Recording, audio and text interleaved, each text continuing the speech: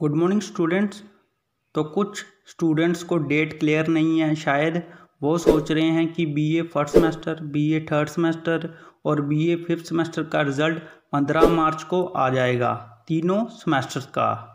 तो ऐसा नहीं है। हमने आपको पहले भी अपडेट दे दी थी वीडियो बनाकर। तो इस चैनल पर वीडियो है पूरी डिटेल में। आप वो जाकर देख सकते हैं। और इस वीडियो में भी हम क्लियर कर देते हैं आपको डेट्स तो सबसे पहले आपको बता दें कि बीए क्लासेस का रिज़ल्ट पंद्रह मार्च से पच्चीस मार्च तक पब्लिश हो जाएगा तीनों सेमेस्टर्स का। बीए फ़र्स्ट सेमेस्टर का रिज़ल्ट पंद्रह मार्च से बीस मार्च के बीच बीच में पब्लिश हो जाएगा। पंद्रह मार्च को भी हो सकता है, सोलह को भी, सतारह को भी, अठारह को भी, उन्नीस को भी और बीस को भी। और बीए थर्ड सेमेस्टर का रिज़ल्ट 16 मार्च से 22 मार्च के बीच बीच में पब्लिश हो जाएगा।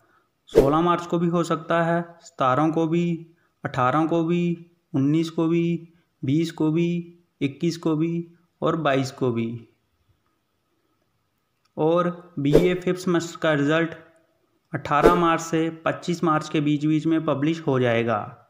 18 मार्च को भी हो सकता है 19 को भी 20 को भी इक्कीस को भी, बाईस को भी, तेईस को भी, चौबीस को भी और पच्चीस को भी हो सकता है। मतलब आप सब मानकर चलो, पंद्रह मार्च से पच्चीस मार्च तक तीनों सेमेस्टर के रिज़ल्ट पब्लिश हो जाएँगे जी एन डी यू की ऑफिशियल वेबसाइट पर इन पर। और जैसे ही आपका रिज़ल्ट आता है तो हम आपको बता देंगे। तो इस चैनल के साथ जुड़े रहें। तब तक इस वीडियो को लाइक कर दो, शेयर कर दो सभी फ्रेंड्स के साथ।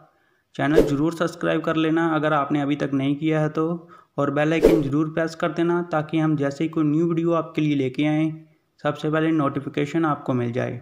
Thank you